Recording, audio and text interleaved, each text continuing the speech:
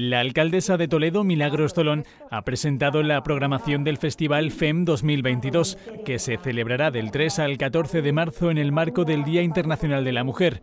Un programa que cuenta con más de 40 actividades para todos los públicos, que convierte a Toledo en un referente del feminismo y de la lucha por la igualdad real entre hombres y mujeres dentro de la región. El presupuesto es de 48.000 euros, que son 5.000 más que el año pasado y les puedo asegurar que hay propuestas para todos los públicos, todas las edades y también todos los gustos.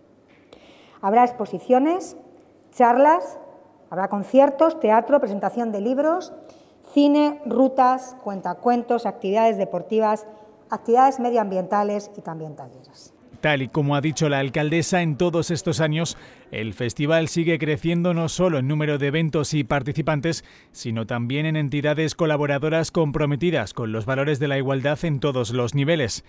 El programa al completo del festival puede consultarse desde ya en la web del Ayuntamiento de Toledo.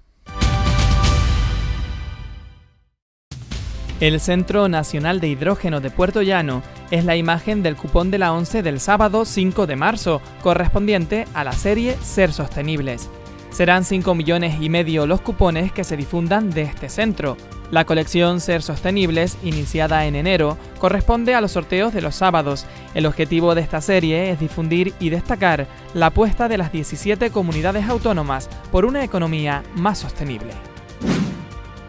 El Ayuntamiento de Talavera y la Junta de Comunidades de Castilla-La Mancha han firmado un convenio para la cesión de un nuevo mural que podrá exhibirse en la ciudad, una joya que viene a engrandecer el atractivo de Talavera de la Reina de la mano de su cerámica, cuyos procesos artesanales fueron declarados Patrimonio Cultural Inmaterial de la Humanidad.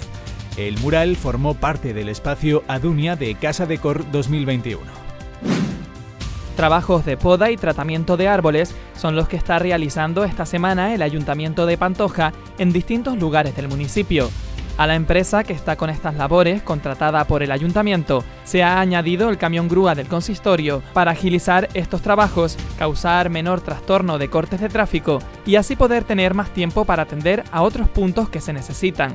Según informan desde el consistorio, el trabajo está siendo más complicado de lo previsto por la cantidad de árboles ya enfermos, al igual que las palmeras, que la pasada tormenta Filomena castigó y que aún habiendo realizado un tratamiento fitosanitario para poder recuperarlos, algunos ejemplares han tenido que ser arrancados.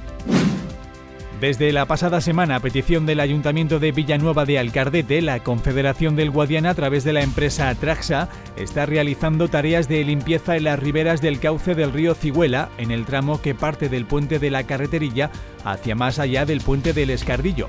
Según informan las autoridades, cualquier vecino que esté interesado en recoger leña para uso particular puede pasar a retirarla. Esta semana se ha celebrado en Cebolla una sesión socioeducativa teatral para fomentar las relaciones en igualdad y prevención de la violencia de género, de la mano del Teatro que Cura. Ha tenido lugar en el Instituto Arenales del Tajo entre el alumnado de bachillerato. Los adolescentes pudieron expresar y reflexionar en conjunto y aprendieron a crear lazos y vínculos más sanos para que sus posibles relaciones de pareja se basen en el respeto y en la igualdad. Estas imágenes corresponden a la visita que la consejera de Educación, Cultura y Deportes, Rosana Rodríguez, realizó esta semana al taller artesanal de fabricación de las alfombras de nudo español de Alcaraz, dirigido por la maestra artesana Trinidad García. Allí la consejera ha manifestado la intención del gobierno regional de declarar este arte en bien de interés cultural. Diario Oficial de Castilla-La Mancha publicará una resolución por la que comenzaremos a incoar el, expediente que hará posible que esta tradición centenaria de las alfombras de, de, esta localidad de Alcaraz sea considerado un bien de interés cultural con carácter inmaterial. Estamos muy satisfechos de poder contribuir a la riqueza, a la grandeza, a la expansión y a la puesta en difusión de nuestro patrimonio, en este caso un patrimonio inmaterial que no tenemos que dejar perder bajo ningún concepto. La titular de Educación, Cultura y Deportes ha recordado que desde el siglo XIV al XVIII la producción de alfombras de Alcaraz fue muy importante y estos objetos artesanos fueron muy apreciados. Incluso sirvieron para obsequiar a reyes, grandes señores y personalidades como los reyes católicos o Carlos I. La Agencia Estatal de Meteorología prevé para mañana sábado cielo nuboso o cubierto. Lluvias débiles dispersas más probables en el suroeste de la comunidad. Brumas y bancos de niebla en zonas altas. Temperaturas mínimas en ligero descenso, con pocos cambios en el nordeste. Máximas en ligero ascenso en La Mancha y pocos cambios o ligero descenso en el resto.